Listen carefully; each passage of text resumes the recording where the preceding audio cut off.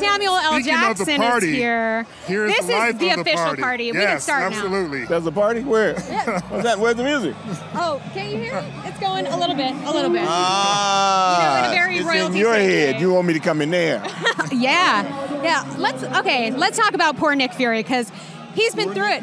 I'm concerned about him. Poor Nick Fury. What are you talking about? He You've been through a lot. He's been gone for five years. How does he feel about that?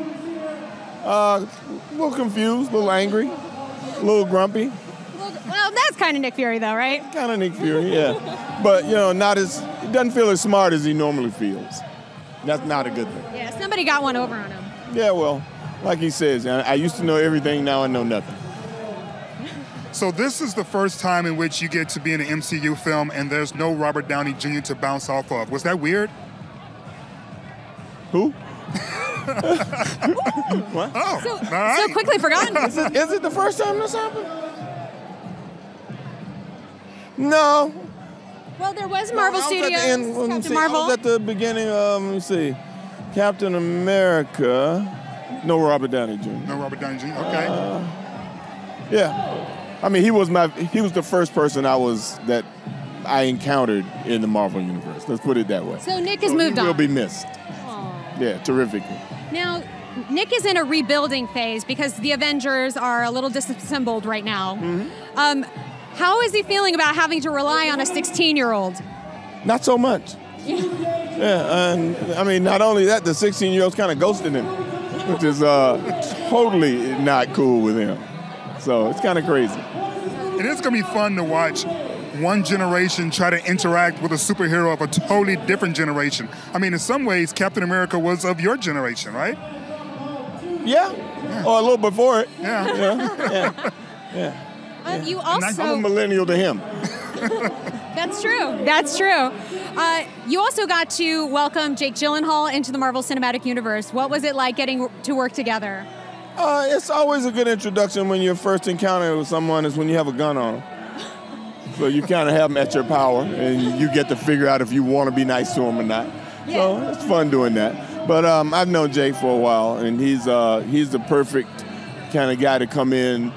We lose our orator when we lose Downey, so now we get a new one. We get an actor who can who can do speeches that are meaningful, and you know people will love him for that. Speaking of love, everyone loved Captain Marvel, but one of the coolest things was seeing a young Nick Fury throughout the course of the film. What did you think of seeing a younger you up on the big screen? Uh, it just reminded me of some films I'd done when I was younger, and you know, it's like, oh, I used to look like that when I was in like Negotiator, or that's me. Yeah, Well, now you get to work with a very young cast. they're good people. They're good kids. Um, have you taken on a mentor role with with the new? No. No, I didn't see them that much. I only saw Tom.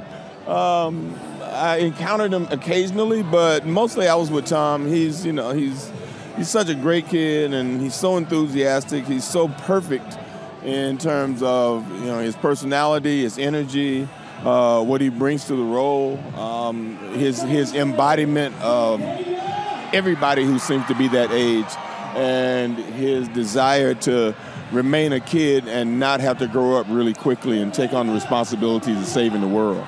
yeah, with great power, they say. Yeah, it comes uh, That other Yeah, thing. Da, da, da, da, da, da, da. Yeah, it's, everybody it's, likes responsibility. How many Kangols do you own, by the way? You seem to have a thousand. Couple thousand.